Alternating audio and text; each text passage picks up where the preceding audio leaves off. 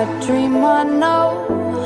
Deep up my feelings for you. The chances of the ruling People Democratic Party in the September 21st governorship election in those states receive yet another major boost on Monday with the defection of hundreds of members of other parties. My people, it all set. Alright guys, before I go bring the matter, I go like welcome on especially to my wonderful channel, Reality Latest Gist. As they giving a back-to-back updates and information as they hot. So if today is the first time of watching, kindly subscribe, like, comment, share, but don't forget to turn on notification bell to get notified whenever we drop our video. To all amazing subscribers, thank you so much for joining us. So guys, let's proceed. The chances of the ruling People Democratic Party in the September 21st governorship election in Edo State have received yet another major boost on Monday with the defection of hundreds of members of other parties. Those who decamp are notably from the All Progressive Congress, the Labour Party, and the New Nigeria People Party, and other fringe parties joining PDP in Edo State so the defection occurred when the PDP led by Governor Godwin Obaseki, the party governorship candidate Dr. Asue Ighodalo, his running mate Osarodion Ogie and other chieftain of the party held campaign rallies at Egor and Boboka local government area of Edo State. In another related development, the PDP strongly won the All Progressive Congress over increased violence in Edo State, declaring that no one has monopoly of such violent activities and that there could be consequences. The PDP called on the APC in Edo State to be ready to face the full impact of the wrath of the people of Edo State if they continue in their violence attack and harassment of innocent citizens of Edo State. The party also called on women in Edo State to rise against Neto Adams Oshibole for his anti-women utterances. Meanwhile, speaking at Olua Primary School Field Uselu, venue of campaign rally in Ego local government area, Governor Godwin Obaseki declared that he has done his best for the state and that Aswe Hodalo and his running mate Osarodoje will continue from where he stopped when he hand over to them come November 12. Obaseki said that he wanted the state to move forward and not backward. So looking at the people here, that he can see a lot of youths because he's not surprised that Egor is a home of youth. So they have the University of Benin and Benin Technical College in that Egor. So he's well assured that September 21st is the most important day, the most important election in those states. So he's not bothered that they're not going to get vote from Egor. He said they are going to get much vote from Ego, but he urged people not to make the mistake for the sake of continuity that they must vote for PDP. the Asi Holalo is youth friendly, and all the lawyers in his company are young lawyers.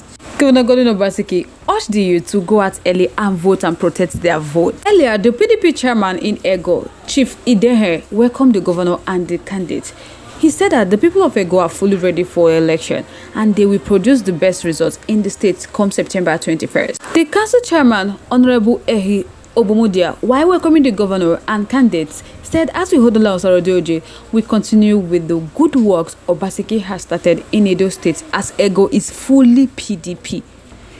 Notwithstanding, Comrade Odio Olaye, the chieftain of PDP in the area and the chairman of Nigerian Labour Congress, charged the rally with glorious and melodious songs as the people were overcharged with joy. Said nobody can ring election in Egor, adding that PDP members cannot be intimidated by any police or anyone else. He predicted that Egor will be won by PDP and ASO OJ, that PDP will be declared winner in Egor. The Deputy Majority Leader, Edo State House of Assembly, Honorable Natasha Igbenedion, said for Edo State to move forward, that Edo must vote Aswe Ihodalo and Osarodoje.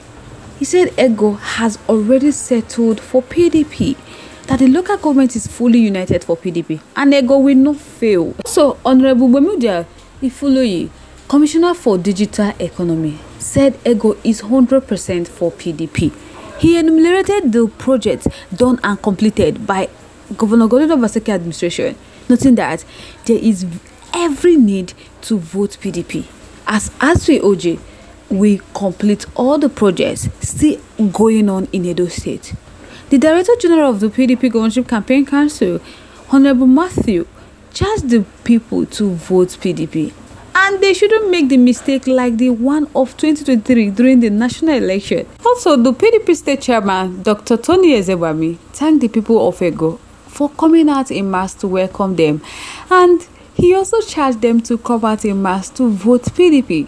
He said the high point of the rally was when hundreds of defectors led by Bright Omori from the ADP the former State House of Assembly candidate of the party declared that the choice before the people is that of light and darkness. he said that they joined the party to ensure PDP wins the election. And he explained that him and his structure joined the People Democratic Party because the candidate is the best. Also, Prince Igbinobo, the former APC chieftain, said he led his people to PDP because as we Ighodalo is mentally, physically, and academically sound. The Labour Party members from Ward 9 joined the party too, claiming that the election is between PDP and PDP because there are no other candidates in the race. My people don't be small bass bozo.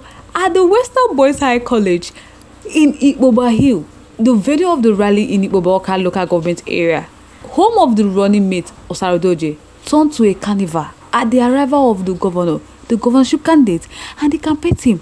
The council chairman, Honorable Henry Osayende, assured that Ikpoba-Okha is 100% for PDP. Because of Osarodion Ogie, while illuminating his various achievements, he declared that PDP is a progressive party and he assured the governor and the candidates of PDP 100% vote in Ikpoba-Okha local government area.